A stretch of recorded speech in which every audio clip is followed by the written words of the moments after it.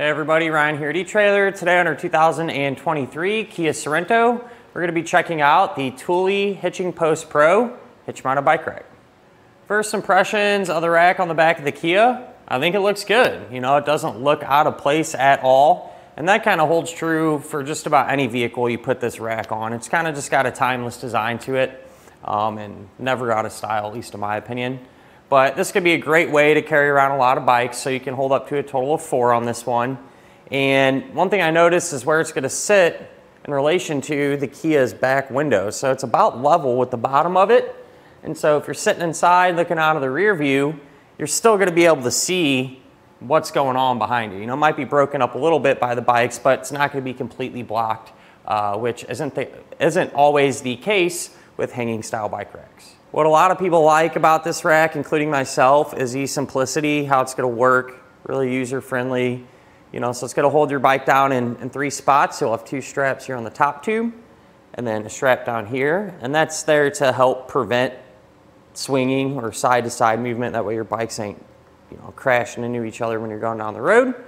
Uh, but it's gonna be real easy to, to get your bike off. You know, you just simply move them straps out of the way then you're gonna be able to slide it off. I do like the arms are about the perfect width apart, not too narrow nor too wide. So it's gonna make it pretty manageable to slide the bike off or put it on.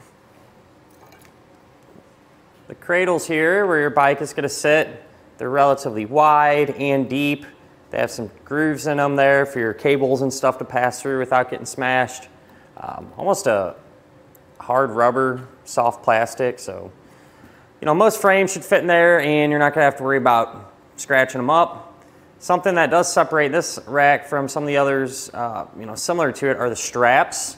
These things are super stout, uh, really thick. We use this rack all the time, almost every day, putting it on different vehicles, and these just take forever to wear out.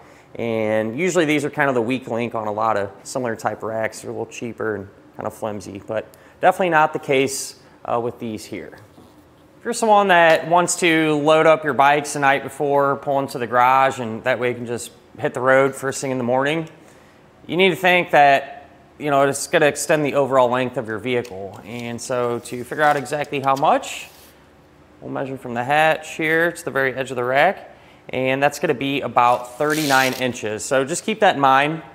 When the rack is unloaded, um, the arms do swing down though, makes it a lot more compact. You're gonna have a pin and clip there. Pull that out. Swing this on down here. Put that pin and clip back through there.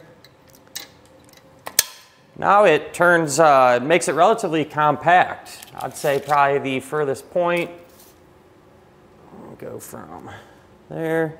Looks like it's only gonna be about 19 inches. So honestly, in most cases, in this position, you shouldn't really run into any issues trying to pull uh, into your garage.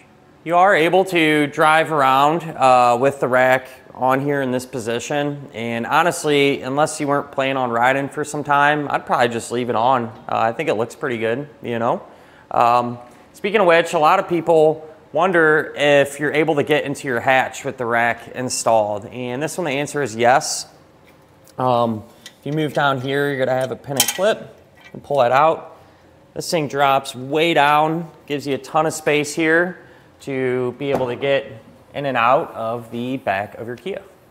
Moving down here, the rack is going to work with the 2 inch by 2 inch hitches like we have here today on our Sorento. Can also work with the smaller inch and a quarter hitches, so if you have another vehicle in the household, uh, chances are pretty good this will work with it as well. It is going to come with an anti-rattle bolt. What that's going to do is eliminate any slop or play there in the connection point and help prevent that clunking uh, that you would hear.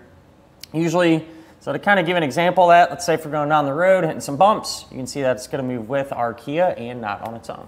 So at the end of the day, a tried and true bike rack. You know, a lot of people like these, really reliable and last a long time. So overall, a good fit for the Kia. And that'll finish up our look at of the Thule Hitching Post Pro hitch mounted bike rack on our 2023 Kia Sorento.